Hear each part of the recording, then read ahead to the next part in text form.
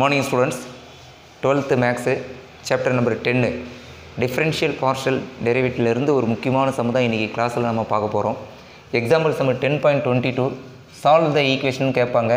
D y by d x plus two I equal to e power minus x so இந்த சமன்பாட்டை நம்ம தீர்க்கணும்.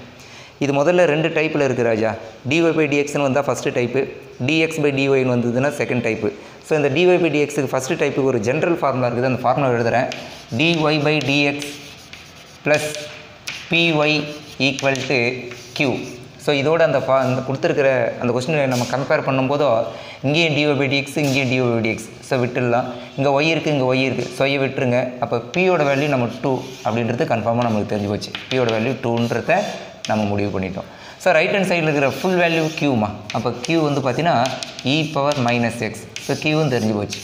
So பியோட value to கியூவோட value e power minus x so இந்த கொஸ்டினுக்கு solution கண்டுபிடிக்கிற formula என்ன sir அப்படின்னு பார்த்தீங்கன்னா y e power integral p dx equal to integral q e power integral p dx into d x plus c இதுதான் solution கண்டுபிடிக்கிற formula முதல்ல இதில் இ பவர் இன்டகரல் பிடிஎக்ஸ்னால் என்னது அப்படின்றத முதல்ல நம்ம கண்டுபிடிப்போம். இதை தான் இன்டெகிரேட்டிங் ஃபேக்டர்னு சொல்லுவாங்க. தொகையீட்டு காரணின்னு சொல்லுவாங்க. முதல்ல இ பவர் இன்டகரல் பிடிஎக்ஸோட மதிப்பு நம்ம கண்டுபிடிப்போம். இ இன்டகரல் பி பின்னா என்னம்மா? டூ டிஎக்ஸ் இப்போ இந்த டூ வந்து இன்டகரலுக்கு நம்ம வெளியே எடுத்துக்கலாம். இன்டகரல் டிஎக்ஸு இந்த டூ ஒன் டைம் அப்படியே எழுதிக்குவோம். இந்த இ இந்த டூ ஒன் டைம் அப்படியே எழுதிக்குவோம்.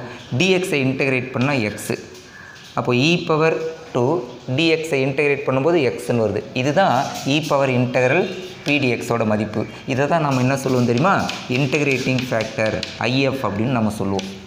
ஸோ இதுதான் integrating factor e power integral பிடிஎக்ஸோட total answer நம்ம கண்டுபிடிச்சிட்டோம்.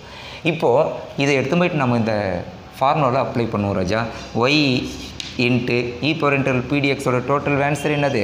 இ பவர் டூ எக்ஸ் அப்புறம் இங்கே ஈக்குவல்ட் இருக்குது அப்புறம் இன்டர்வல் இருக்குது கீயோட மதிப்பு என்னம்மா? E power minus x so மறுபடியும் இந்த இ பவர் இன்டர்வல் பிடிஎக்ஸ்னு இங்கேயும் வருது இல்லையா? அப்போ நம்ம கண்டுபிடிச்ச இ பவர் டூ எக்ஸ் எடுத்து போய் நம்ம அப்ளை பண்ணுவோம். இன்ட்டு டிஎக்ஸு ப்ளஸ்ஸு சி இப்போ பாருங்கள் left hand side one time அப்படியே எழுதிக்கிறோம். ஈக்குவல் டு இன்டகரல் பாருங்கள் பவர் ரூல் நம்மளுக்கு தெரியும் இல்லைம்மா? கீழே இருக்கிற பேஸ் வந்து சேமாக இருந்தால் அதை ஒன் டைம் அப்படியே எழுதிக்கணும். அப்புறமா பவரில் இருக்கிறத ரெண்டுத்தையும் ஆட் பண்ணணும். டூ எக்ஸையும் மைனஸ் எக்ஸ் ஆட் பண்ணா ராஜா? Plus x into d x இருக்குது ப்ளஸ் சி இப்போ பாருங்கள் திரும்பவும் left hand side one time அப்படியே எழுதிக்கிறோம். இ பவர் எக்ஸை இன்டகிரேட் பண்ண என்னம்மா? E power x plus c சரி இப்போ நம்மளுக்கு ஒயில் ஆன்சர் வேணும் அப்படின்னு சொன்னிங்கன்னா இந்த இ பவர் டூ எக்ஸால் நம்ம டிவைட் பண்ணலாம். அப்போ இ பவர் டூ எக்ஸால் நம்ம டிவைட் பண்ணும்போது இங்கே ஒய் மட்டும்தான் வரும். இது கேன்சல் ஆகிடும் இங்கே என்ன வரும் ராஜா? இ பவர் எக்ஸு டிவைடில் இ பவர் டூ எக்ஸ்னு வரும். அதே போல் இங்கே பார்த்தீங்கன்னா c by e power two x அப்படின்னு வரும். So y equal to y equal to இப்போ பாருங்கள் இந்த இ பவர் டூ எக்ஸு அப்படியே ரெசிப்ரோக்கில் எடுத்து போனால் இ பவர் மைனஸ் டூ எக்ஸ்னு வந்துடும் ஆல்ரெடி இ பவர் எக்ஸ் இருக்குமா?